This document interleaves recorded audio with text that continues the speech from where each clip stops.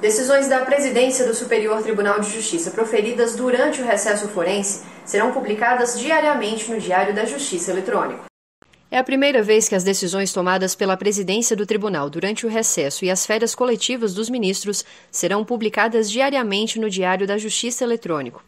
O objetivo é permitir que as partes e os advogados tenham ciência das deliberações do presidente do STJ, ministro Humberto Martins, ou pelo vice-presidente da Corte, ministro Jorge Mussi, no exercício da presidência.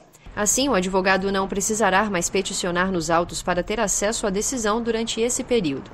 Vale lembrar que os prazos ficam suspensos e só voltarão a correr com o início do ano forense, em 1 de fevereiro.